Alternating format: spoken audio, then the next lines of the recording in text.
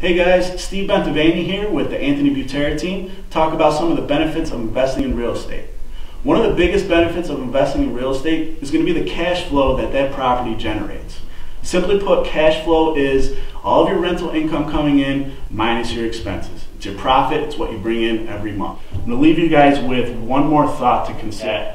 In America, most people, their biggest expense is on the first of the month, whether it be the rent or their mortgage payment. So most people, they're saving all month long to get cash together so on the first of the month they can give it to somebody else.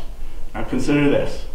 Every time you make that transaction, there's somebody else on the other side of it collecting that money. Now, it may not be very plausible for you to just open a bank, start collecting mortgage payment, but it's absolutely realistic to own rental property, collect rent, and be on the other side of that transaction.